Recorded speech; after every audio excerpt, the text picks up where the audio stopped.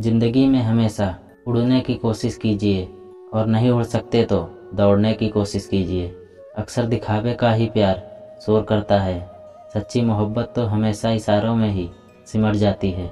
कुछ लोग समझते हैं कि जो लोग अकेले रहते हैं, वो कम बोलते हैं और उन्हें अपने आप पर घमंड है, पर ऐसा कुछ नहीं होता।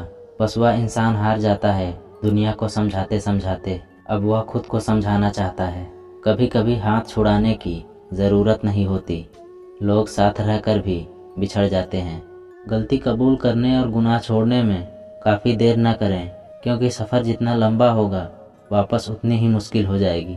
ज़िंदगी में जो कार्य मुश्किल लगे तो उसे बार बार रिपीट करने से कार्य आसान हो जाता है। सफल वही होते हैं जो दूसरों की बातों पर नहीं, खुद की मेहनत पर भरोसा रखते हैं।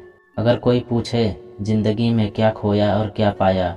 तो कहना जो खोया है, वह मेरी नादानी थी, और जो भी पाया है, वह प्रभु की मेहरबानी थी। कुछ लोग ज़िंदगी में दो पल के लिए आते हैं, और यादें ज़िंदगी भर की छोड़ जाते हैं।